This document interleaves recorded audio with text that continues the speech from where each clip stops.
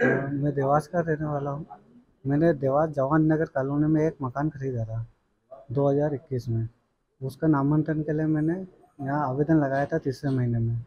तीसरे महीने से मेरे को काफ़ी टाला गया है इन्होंने। फिर एक दिन इन्होंने कहा कि बोला बिगड़ पैसे से आपका काम नहीं होगा। फिर मैंने वह शिकायत लोकायुक्त से की, आवेदन दिया। आवेदन देने के बाद में मुझे यहाँ इनसे बात करी मैंने कि कितने मांग रहे हो? इन्होंने कहा था कि बीस हज़ार मांग चाहिए। तो मैंने कहा कि नहीं मैं गरीब आदमी हूँ पाँच हज़ार दे पाऊँगा। मैं पाँच हज़ार से ज़्यादा नहीं दे पाऊँगा। तो इन्होंने कहा कि नहीं बीस पंद्रह। फिर मैंने कहा कि नहीं पाँच सौ को नहीं दे पाऊँगा। फिर मैंने कहा कि दस दे दूँगा। फिर दस पे हमारी बात हुई थी राम रामन के पूरे पूरे पैसे की। फिर दस पे वो फाइनल हो गया तो उन्होंने आज को बुलाया था और आज तारीख को मैंने उनको दस हज़ार रुपये दिया था। जिसे योगायुक्त वालों ने रंगे हाथ पकड़ा। क्या कहाँ के रहने वाले मैं देवास का हूँ। क्या नाम है मेरा नाम राहुल डांगी है।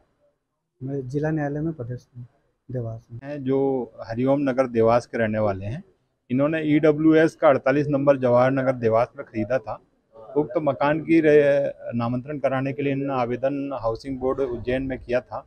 तो जहाँ से बाल मुकुंद सहाय ग्रेड तीन जो संपत्ति शाखा के बाबू हैं उनके द्वारा बीस हज़ार रुपये की रिश्वत की मांग की।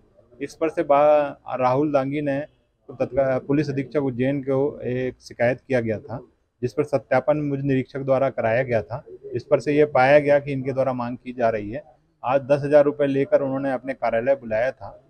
तो आज दस हज़ार रुपये लेते हुए बाल मुकुंद मालवी को उनके कार्यालय में पकड़ा है। उनके विरुद्ध धारा सात भ्रष्टाचार निवारण अधिनियम का पंजीबत किया गया है। अभी मौके पर कार्रवाई जारी है।